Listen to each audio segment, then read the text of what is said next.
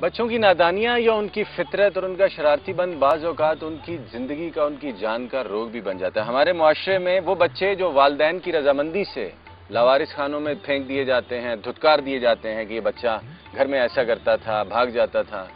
ये उस बच्चे का कसूर तो है ही है, लेकिन वो वालदेन जिन्होंने अपनी मर्ज़ी से उस बच्चे को पैदा किया, वो कितने कसूरवार हैं, ये भी हमें देखना है इस वक्त। फिर से आपको नूरियाबाद के दी विलेज में लिया चला जा रहा हूँ, जहाँ पर छोटे छोटे मासूम बच्चे और उनकी छोटी छोटी कहानियाँ जो बहुत दुख भरी हैं हमारी मुंतजर हैं तफसीलात जानने के लिए।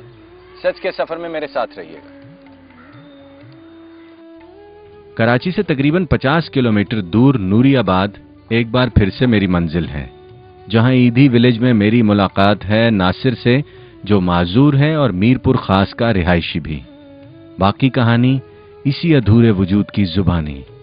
नासिर क्या हुआ ये टांगों को और तोरा आता है ना उसकी वजह से वो हो गया। ये क्या पोलियो है क्या? है कमज़ोर हो गई एक टांग और एक हाथ। कब से? पहले से। ही। तो अम्मी अबू कहाँ गए? मेरे को खास नहीं है उधर है अम्मी अबू। मिलने आते हैं? नहीं आते। तो यहाँ कौन छोड़ के गया था? गुम शुदा ना तो ये टांग और हाथ कैसे खराब हुआ? तोरा की वजह से हुआ ना। पहले से बचपन से हुआ था। तो गुमशुदा कैसे हो गए इस हालत में? किसी ने छोड़ा या खुद से निकला है घर से? घर से तो मैं आप ही लिख रहा हूँ क्यों निकले? मजबूरी हो गई उधर से आप भी लिख रहा हूँ घर से। जब आप माजूर हो गए घर वालों को पता चला कि आपकी एक टांग और एक हाथ नहीं चलता रवैया कैसा था उनका? सही था बिल्कुल। तो फिर घर क्यों छोड़ दिया? बस ऐसे आगे मजबूरी हो गई। नहीं मजबूरी क्या हुई बेटे? पुलिस वाले लेके आए ना। तो आपके घर क्यों नहीं लेके गया आपको पुलिस वाले? पता नहीं इधर ले आए इधर।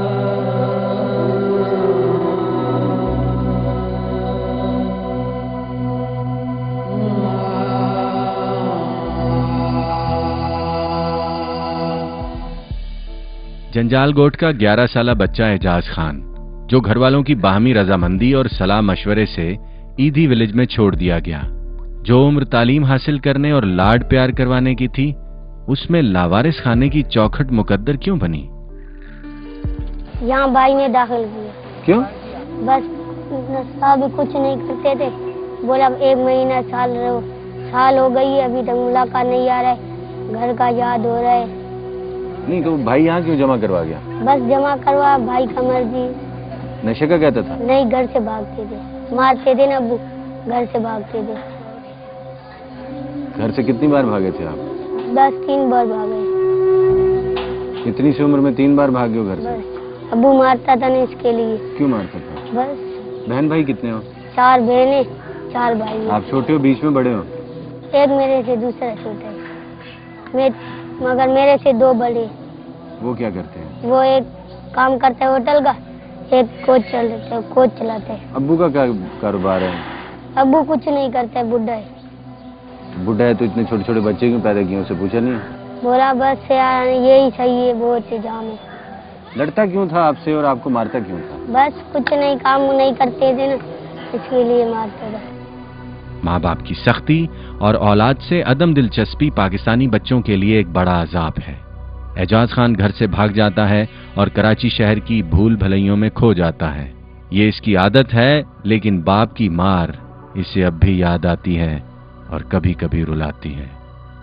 तो अभी मिलने आता है कोई? नहीं आता है साल हो गई है। वहाँ बाप बहन भाई कोई नहीं आता? कोई नहीं आता। फ़ोन करते हैं कोई? फ़ोन नहीं है ना नंबर नहीं है मेरा पास तो कभी मिलने भी नहीं गए हो? क्यों? दिल चाहता है ना बहुत रोना आता है।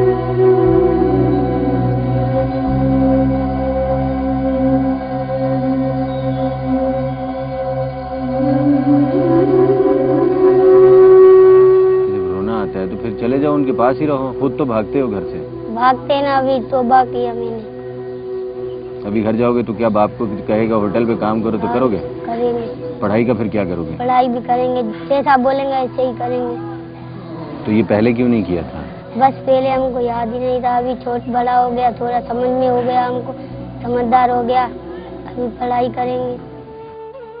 औरंगी टाउन का 10 साल आरिफ यहाँ मुझे कदरे जख्मी हालत में मिला। बाप यहाँ जमा करवा गया है और मुद्दत हुई मिलने नहीं आया। बच्चा घर जाना चाहता है लेकिन कोई इसकी आवाज़ नहीं सुनता। न जाने ऐसा इसके साथ क्यों हो रहा है। तो यहाँ कैसे आए हो? यहाँ पे अबू ने दाखिल कराया क्यों करवाया था? घर से भागता था। क्यों भागते थे? घर पे अम्मी अब्बू मारते थे। कितने बहन भाई हो? तीन भाई तीन बहन। क्यों पड़ती थी मार? घर से भागते थे इस से मार खाते थे। स्कूल जाते थे? कौन सी क्लास में पढ़ते थे? पहले मेरा बोलते थे पढ़ो लिखो। याद आते हैं? कौन याद आता है घर में सबसे ज़्यादा? अम्मी अब्बू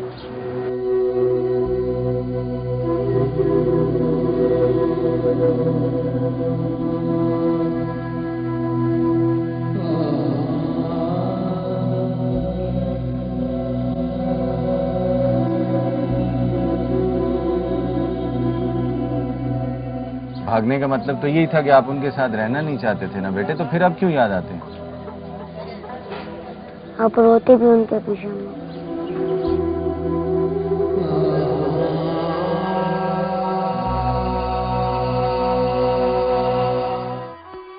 नवीद अहमद सौराब गोठ कराची का रिहायशी है लेकिन ईदी विलेज में मुकीम है।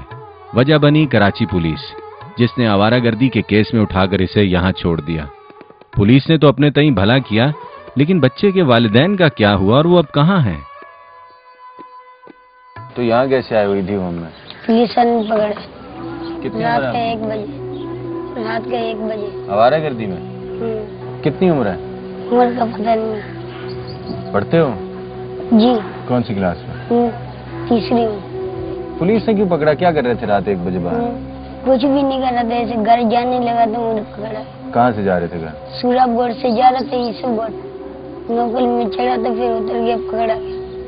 नहीं तो आपके घर क्यों नहीं छोड़ा आपको? घर नहीं छोड़ा ये जस बता रहा था उसने लेके आया था। यहाँ कितने अरसे से हुई थी विलेज में? यहाँ बहुत अरसे से कुरंगी पाँच नंबर में। अब क्या चाहते हो बेटा? घर जाना चाहते